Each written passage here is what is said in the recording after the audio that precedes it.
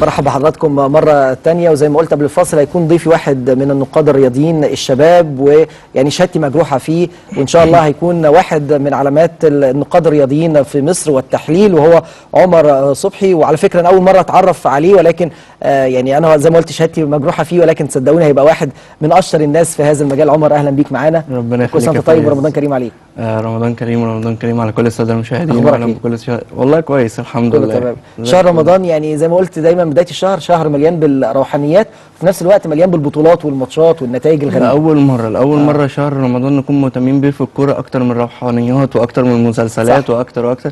آه، الكورة جاي فيه بطولتين من أعظم البطولات في العالم كوبا أمريكا وبعدها بدأت اليورو فبالنسبة لنا الشهر كان بنبدأ بنبدأ الصبح نتفرج على ماتش 3 صح. و6 و9 اليورو وبعد كده نبدأ واحدة الفجر و4 الفجر نتفرج على الكوبا فتقريبا ما كناش بننام. مع الصلوات وكده. يلا آه بص هو في يعني كذا ملفات معايا يعني أو كذا مواضيع فهندردش كده معاك. ولازم نبتدي بقى بال- باللي حصل امبارح فوز النادي الأهلي بلقب ال- الدوري 2-1 على الإسماعيلي وفي نفس الوقت تعادل ال- الزمالك والمصري. آه، شايف الزمالك والمصري الأول إزاي؟ يعني الناس كلها كانت متوقعة الزمالك هيخش يفترس ال- المصري عشان يفضل ملاحق النادي الأهلي. في نفس الوقت المصري خارج من فوز قدام النادي ال- الأهلي عمل مباراة كويسة جدا. آه، الفكرة هنا في كابتن حسام حسن. كابتن حسام حسن عنده الجرينتا الايطاليه عالية قوي. يقدر يحمس لعيبته لكل ماتش كبير. يقدر يخليهم يطوروا من مستواهم الفني على حسب الفريق اللي قدامه كويس على حسب طريقة اللعب بيخليهم يلعبوا كويس سواء قدام الأهلي أو الزمالك. آه، قدر قدام الزمالك امبارح إن هو الزمالك يتعادل معاه. يعني هو كان مت- متقدم وقدر إن. الزمالك يتعادل معاه. ودي بعتبرها إنها حاجة حلوة للزمالك. يعني الاهلي الأهلي ما قدرش يعملها.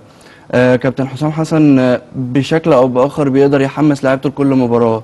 بيشوف إن كل مباراة هي تقدر توصله للهدف اللي هو عايزه التواجد في دوري أبطال أفريقيا الموسم اللي جاي. آه عنده ميزة كمان بي- بيكتشف النجوم. يعني تلاقي مثلا شباب صغير لعيبة صغيرة بيجيبهم من الأندية الصغيرة من نجوع ويبتدي يعمل منهم أسماء كبيرة.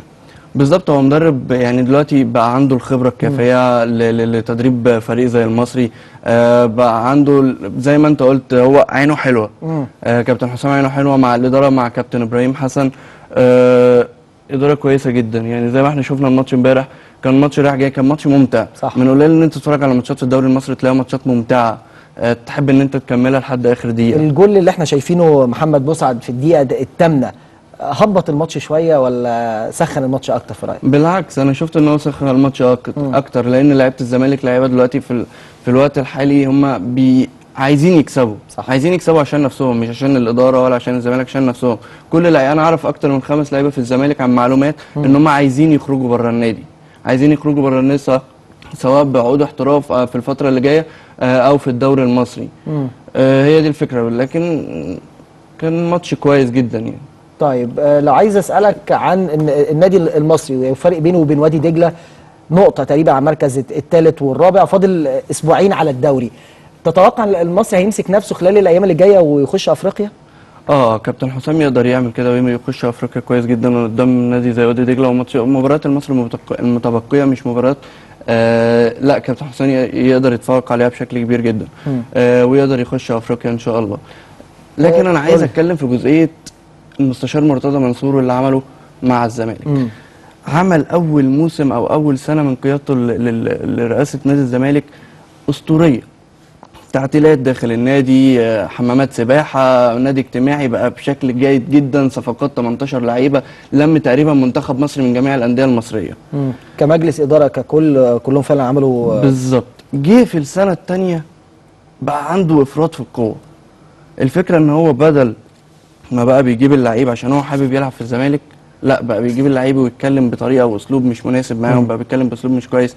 آه بقى أنا عملت وأنا سويت وأنا وأنا وأنا. هي دي الفكرة اللي ضيعت الدوري من نادي الزمالك. إقالة 8 مدربين أو 9 مدربين في الفترة لسه كنت لسه الأخيرة. هقول لك على محمد على محمد حلمي كابتن محمد حلمي عمل عمل فريق كويس. آه، الفكرة دلوقتي إن هو معرض للإقالة بعد بعد التعادل قدام المصري امبارح وهاجمه في وسائل الإعلام وقال له أنت ضيعت اتنين بونت. الراجل تسع كسب تسع ماتشات مباريات ورا بعض. عمل أداء كويس في كابتن جدا. محمد حلمي إيه؟ والجهاز اللي معاه. عمل أداء كويس جدا بالقماشة اللي معاه. الراجل قدر يمسك الفريق بعد ما كان آه خلاص بيقع بينهار بسبب تحكم الإدارة فيه بسبب كمية الاقالات ال- الإدارات الفنية بسبب تدخل الإدارة الغير طبيعي. في, في الأمور الفنية للفريق من جوه قدر إن هو يكسب وقدر إن هو يعدي بيه المرحلة وقدر إن هو يرجع ينافس الأهلي تاني على دوري ما كانش في إيده أصلا. الراجل ده المفروض يشكر حتى لو الماتش الجاي خسر واللي بعده خسر. لا نقول له شكرا يا كابتن محمد. عايز أسألك عن الراحة السلبية اللي تم إعطائها لنادي الزمالك. أنت عارف وفاق ستيف خلاص تم تم اقصائه من إقصاؤه. آه تم اقصائه من البطولة. هل الراحة السلبية دي محتاجة نادي الزمالك دلوقتي ولا محتاج إن هو يكمل تدريبات؟ أعتقد إن هو محتاج الزمالك شوية في الفترة اللي جاية عنده سموحه اللي جاي في الدوري. آه سموحة اللي جاي ماتش صعب. لكن الزمالك عندنا اللعيبة في مصر بقالهم آه، موسمين أعتقد أو موسم بنص بيلحموا ماتشات في بعض. فال... فالتريح في وسط الموسم هيكون كويس جدا ليهم بدنيا وفنيا وحتى ذهنيا. تمام. ما بين التدريبات أو الماتشات والتدريبات أو الماتشات والسفر رايح جاي صح. سواء في برج العرب أو في بتروسبورت أو أو أو لا هيديهم راحة نفسية ومعنوية أكتر لمواجهة المصري. طب خلينا نرجع على المباراه الثانية عشان أنا عايز ألحق في خلال النص ساعة اللي معانا أكلمك في معظم الحاجات اللي معانا. الأهلي وال- والإسماعيلي شفت المباراة إزاي؟ وهدفين في أقل من من خمس دقائق تقريبا. أنهوا المباراة بشكل كبير جدا. الأهلي هو الأهلي. الأهلي هو البطل. عمرنا ما شفنا يوفنتوس أو مانشستر يونايتد اعتلى صدارة الدوري الإنجليزي أو الإيطالي ونزلوا من الصداره تاني هو ده الأهلي. انت عارف لو كان ال- ال- الموقف مختلف لو كان الزمالك هو متصدر الدوري وفارق البونت كده قريب من الأهلي كنت ممكن أقول لك الأهلي ممكن يكسب الدوري والزمالك يفقد فوزه للدوري لكن هنرجع نقول الأهلي هو الأهلي الأهلي هو الفريق البطل. قدر في في, في قدام منافس صعب زي صعب زي الإسماعيلي إن هو يحرز هدفين في أقل من 10 دقائق يموت بيهم المباراة. صح. قدر إن هو يوصل لل... للفكرة اللي هو عايزها. مارتن يول مدرب عبقري عارف قيمة اللعيبة اللي بيدربهم كويس جدا عارف قيمة الفريق الاسم اللي هو بيدربه كويس جدا. أنا تصريح المخدات اللي قاله مارتن يول ده أنا ما أخدوش عليه أنا أخده ليه؟ مدرب عبقري. يا جماعة إحنا بنشوف كل المدربين في أوروبا دلوقتي بيطلعوا يقولوا كده وأكتر من كده. لكن آه طلع قال أنا هاخد الدوري هنام على مخدة. فعلا فعلا هو عارف قيمة الفريق اللي معاه. بس الناس قلقت. إدى يعني بع- بعد المصري الجمهور لأن إحنا ما عندناش ثقة. يعني الاهلي جمهور الأهلي دلوقتي حاليا عدى بحوالي 10 سنين بيكسب بس. جه في لحظة إن الدوري راح منه فما بقاش عنده ثقة في الفريق الحالي. لكن على المستوى مارتن يول لا قال بالظبط أنا هاخد الدوري وانام على المخدة وده اللي حصل. يعني هو آه تعادل ماتش وخسر ماتش لكن في الآخر هو خد الدوري قبليه بجول- بجولتين وكان بأداء أكثر من رائع امبارح. وكمان رمضان صبحي أنا مستغرب جدا بصراحة من من أداء رمضان.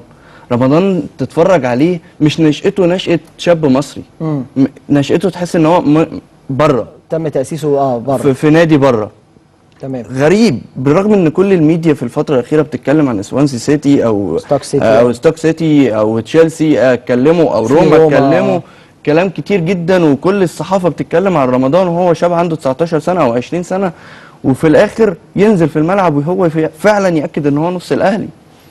يعني نتمنى إن شاء الله مجلس إدارة نادي ال- ال- الأهلي ياخد القرار الصائب بخصوص رمضان صبحي والكل والله يا عمر يعني سواء لعيبة قدامى سواء محللين نقاد رياضيين كله بيقول لك سيبوا رمضان يطلع. بالظبط لكن الأهلي برضو من يعني أنا أتكلم في جزئية من حق الأهلي ومن حق مصري من حق الأهلي إن هو يحافظ على لعيبته. هو نادي وعايز ياخد بطولات. آه. لكن من حق مصر على الأهلي إن هو يخرج رمضان. ده هيكون في مصلحة منتخب مصر ومصلحة يعني إحنا كل محترف عندنا زي محمد صلاح أو محمد النني أو كوكا أو أو أو مش عايز انسى حد وتريزيجيه كلهم بمثابة سفره لمصر بره.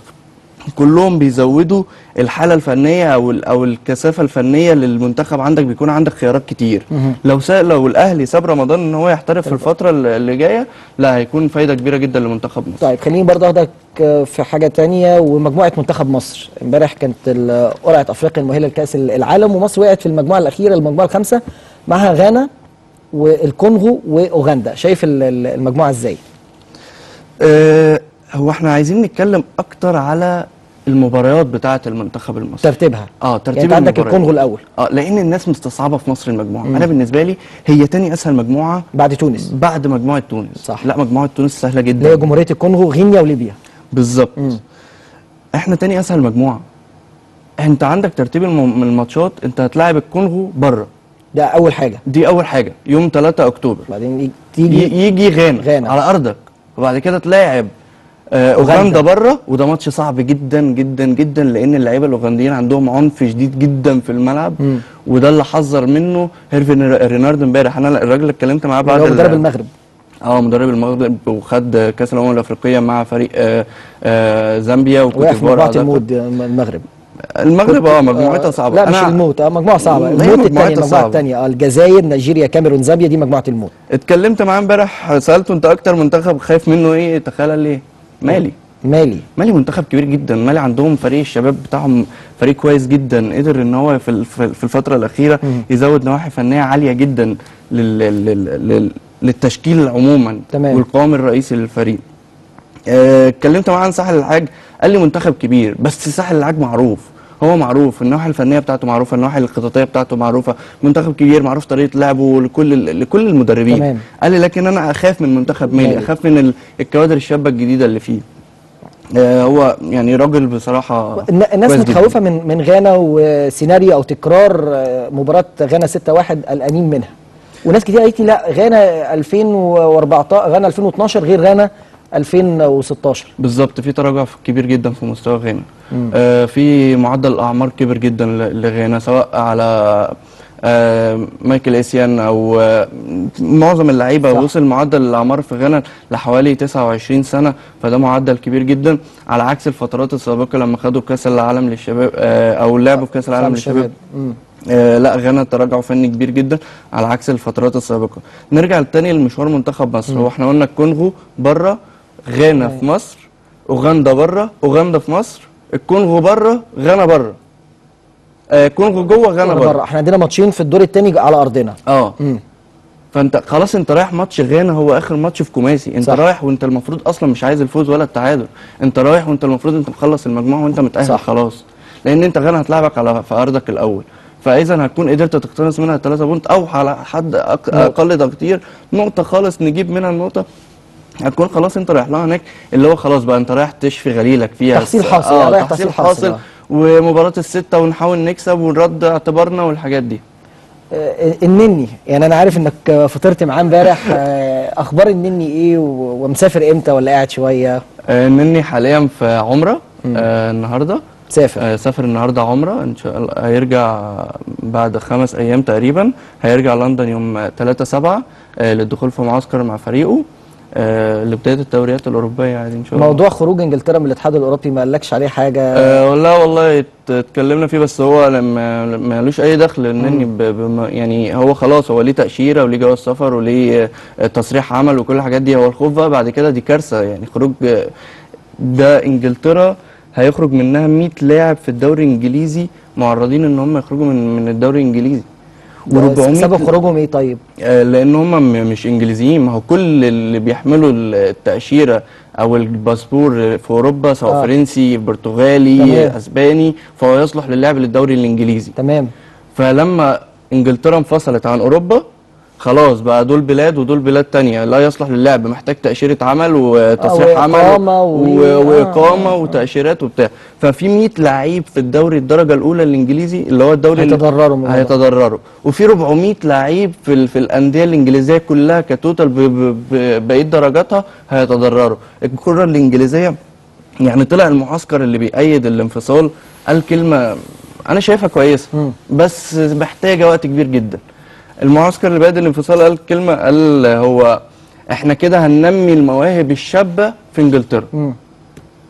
فالفكرة طب أنت هتحتاج تنمية المواهب الشابة دي على مدار سنوات مش على مدار دلوقتي. صح. أنت الدوري الانجليزي بتاعك لو لو ما ما حصلش آه، تسهيلات في في الإجراءات والورق بتاعت اللاعبين والحاجات دي كلها لا الدوري هيقع طبعا.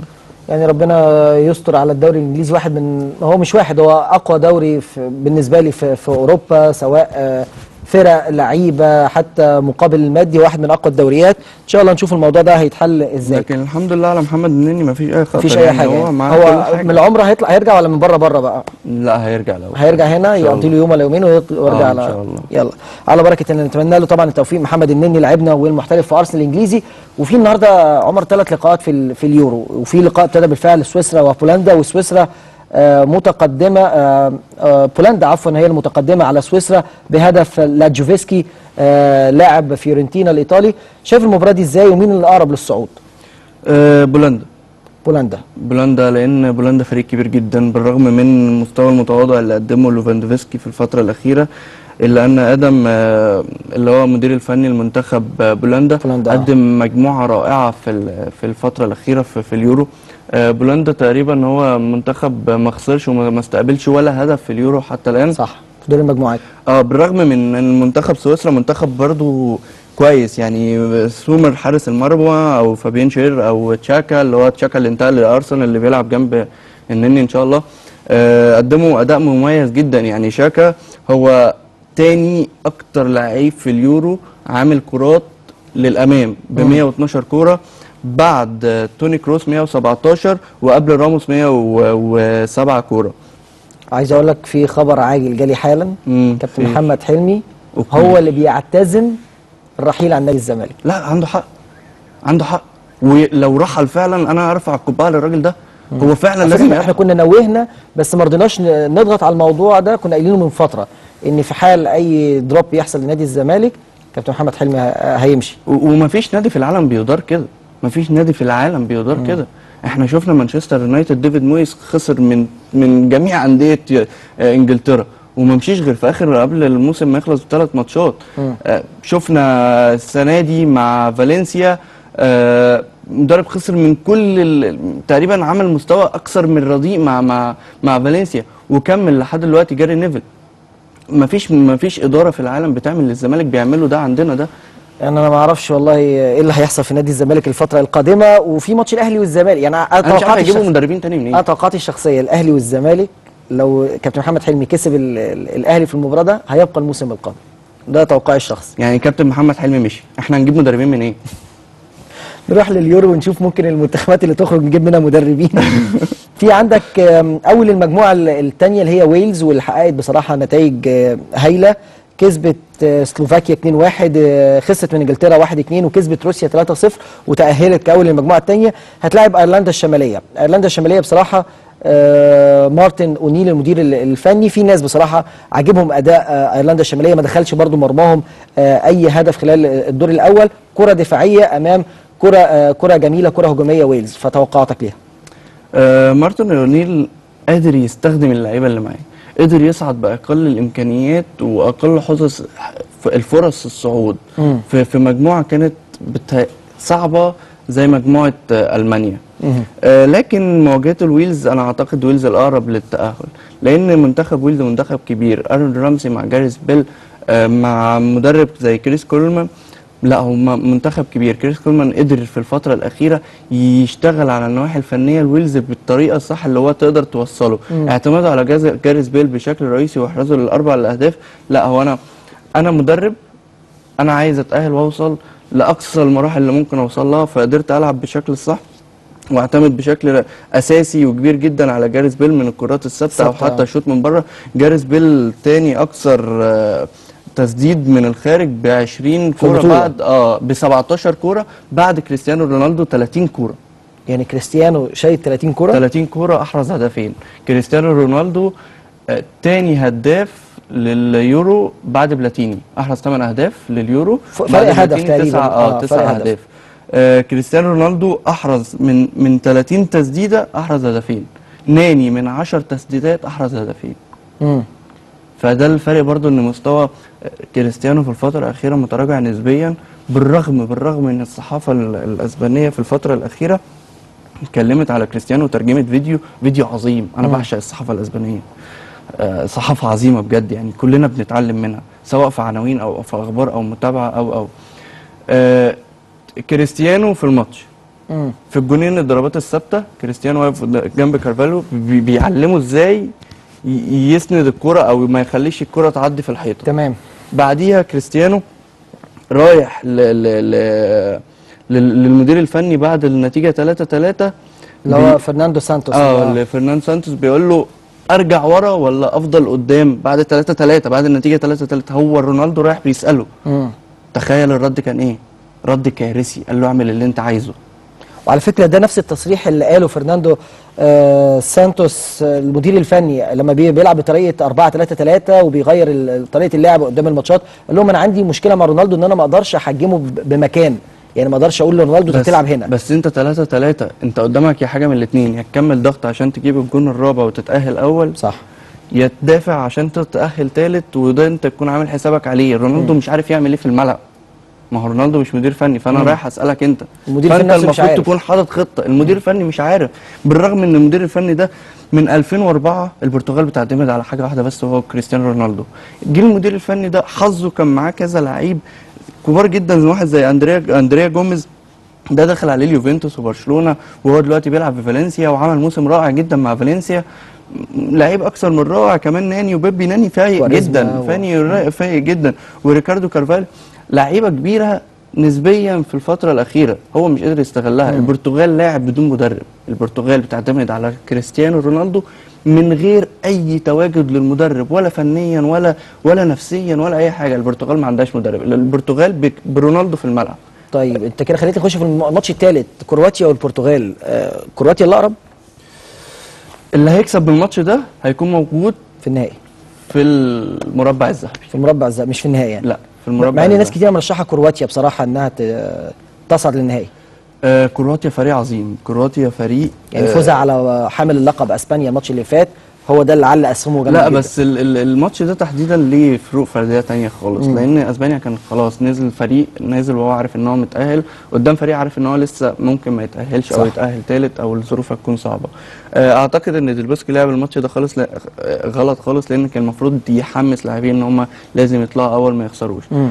آه، ساسيتش عامل فريق أكثر من رائع آه، سواء قلنا ان إن لوكا مودريتش هيقدر يأثر غيابه هيأثر كتير جدا في ماتش أسبانيا. مم. إنه مش هيلعب جنب راكيتيتش. لكن حتى البديل بتاعه ماركو روج لما نزل أكد ان إن كرواتيا منظومة مش لاعب أو اتنين مش نجم مش راكيتيتش مش بريزيتش مش مش لوكا مودريتش. لا أكد ان إن كرواتيا منظومة كاملة. صح. قدر يتح... بيقدر يتحكم فيها ساسيتش. بيقدر في في الماتشات يقدر يدافع إمتى وي... ويهاجم إمتى يعرف إمتى يقتنص الفوز أو النتائج السلبية والإيجابية. إحنا شايفين تدريبات ال- البرتغال الأخيرة طبعا قبل قبل اللقاء اليوم أمام كرواتيا. آه. فأنت تتوقع م- ماتش هيكون صعب ولا ماتش سهل؟ صعب جدا وممتع جدا لأقصى درجاته. روح زي كريستيانو رونالدو هتتمنى إن هي تفوز على منتخب منظم. انت أنت متخيل الكلمة؟ آه. رونالدو هيتمنى إن هو يفوز على منتخب كرواتيا منتخب منظم وكبير وبيلعب فيه أسماء كبير ومع ساسيتش قيادة فنية رائعة. يعني ساسيتش آه، رأيك عمل منتخب قوي يقدر ينافس على المربع الذهبي لبطولة يورو 2016 طيب أخدك لآخر آه، مباراة النهارده اللي معانا ونطلع بقى من من اليورو للكوبا. كوبا أمريكا النهارده في semi final نصف النهائي الولايات المتحدة مع آه، كولومبيا. الولايات المتحدة صاحبة الأرض والجمهور عايزة تحقق على الأقل مركز ثالث خسرت من الأرجنتين 4-0 في الدور دور الثمانيه على الجانب الآخر كولومبيا دي البطولة بتاعتها ولكن خسرت من تشيلي 2-0 شايف مين اللي أقرب؟ الاقرب واقعيا كولومبيا. الاقرب واقعيا كولومبيا بالرغم إن الجمهور مع ريال مدريد مع sorry مع أمريكا وال... والأرض مع أمريكا مم. آه لكن الاقرب كولومبيا فنيا ونجوميا في الملعب آه كولومبيا الكابتن بتاعها رودريجيز. ايا كان فهو كابتن لاعب في ريال مدريد لابس شارة الكابتنة. وجوده في الملعب بيختلف وجود النجم في الملعب بيختلف آه، سواء مع كوادرادو أو مع بقية منظومة الفريق. بيختلف على عكس منتخب أمريكا بيعتمد على المنظومة الكاملة والقوة البدنية صح. بجانب نوعا ما ديمسي بس هو برضو مش النجم مش النجم ال- ال- اللي يقدر يشيل فريق أو. يحجم فريق ديمسي مهاجم فذ جدا ومهاجم رائع جدا و... وتسديد on target بنسبة آه، 70% أو أعتقد 75% لكن على الناحيه الثانية أنت عندك كولومبيا فريق كبير كولومبيا لو ما كانت يعني بس الفرق هنا إن كولومبيا خسر من تشيلي هم ثلاثة صح. فارجاس وسانشيز وفيدال. ده سبب هزيمة. ثلاثة برضو نجوم كبار بيلعبوا في فرق. كبيرة. قدروا إن هم يحجموا نوعا ما رودريجيز قدروا إن هم يحجموا منتخب كولومبيا وإن هم يوصلوا في النتيجة في النهاية لل final. أنا ال- كنت عايز أتكلم عن ال final. أه، كنت لسه أقول لك سريعا تتوقع مين يفوز الأرجنتين ولا تشيلي؟ ماتش خارج التوقعات. مع إن الأرجنتين كسبتها في في دور المجموعات. وتشيلي. كسبتها السنة اللي فاتت. تختلف تختلف. هما ك- الأرجنتين دلوقتي طلعوا ميسي طالع يقول إحنا لازم نغير القصة إحنا لازم نغير الرواية إحنا لازم كسبوه من غير ميسي في الدور الأول يعني. على آه بالظبط. لكن دلوقتي تختلف. بالرغم من القوة الهجومية المفرطة اللي عند الأرجنتين سواء في هيجواين أو اجويرو أو ميسي أو دي ماريا آه لاعبين كلهم أو لافيتزي بس لافيتزي اتصاب مش هيكمل. آه كسر في في معصم الايد آه ده. في في لكن الماتش صعب جدا وهيكون ممتع جدا. آه أنا كنت حابب جدا ال- الكوبا عن اليورو في أول ما بدأ. يعني أنا بعتبر إن اليورو هيبدأ النهارده. دور 16 بالظبط. لكن الكوبا من يوم ما بدات بيرو خرجت البرازيل. أوروجواي كان- خرجت. أوروجواي خرجت من الدور الأول بالرغم من عدم مشاركة لويس سواريز. لكن في المستويات الفنية وال وال والبدنية في الكوبا أمريكا كانت متفوقة جدا على اليورو حتى المتعة في المناظر هي بس اتظلمت عشان بتتلعب في أوقات متأخرة صح. على عكس اليورو. يعني توقعاتك طب قول لي أرجنتين ولا تشيلي أنت عارف إن قلت مباراة خارج توقعات بس إحساسك الداخلي كده. الأرجنتين. أرجنتين. بقى لها 30 سنة ما حققتش بطولة الارجنتين طيب إحنا في سؤال دايما بنطرحه مع بداية الحلقة وبناخد تعليقات مشاهدينا عليه مع النهاية وسؤال حلقتنا النهارده برضه آخد رأيك فيه. مين هو النجم الأبرز في النادي الأهلي أو بسببه حصل على لقب بطولة الدوري؟ الأهلي السنة دي اتنين. ما ينفعش ابخسهم من الاثنين حقهم لازم الاثنين يتقالوا جنب بعض. طول الموسم. طول الموسم. رمضان صبحي وعبد الله السعيد. رمضان صبحي وعبد الله السعيد. غياب عبد الله السعيد عن الأهلي قدرنا نشوف إيه ده. لا ده عبد الله كان فارق جدا في مع الأهلي. طيب تعالى نروح نشوف بقى تعليقات مشاهدينا من خلال صفحتنا على الفيسبوك وهي Extra Time والسؤال أمام حضراتكم من هو النجم الأبرز في حصول النادي الأهلي على لقب الدوري رقم 38 ومحمد مجدي أول واحد هو معاك يا عمر. قال رمضان صبحي وعبد الله السعيد. يعني أنت بتغششه أو هو بيغششك محمد عبد الناصر عبد الله السعيد طبعا مستوى ثابت طوال الموسم. ربنا يشفيه. يا رب.